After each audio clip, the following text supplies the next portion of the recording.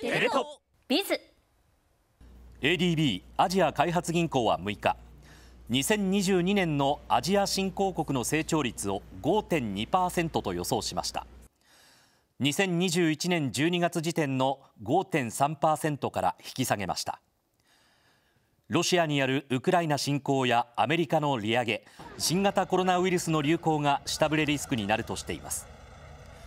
国地域別では感染者が急増している中国を従来予想の5.3%から5.0%に下方修正したほか東南アジアは4.9%と予測しています。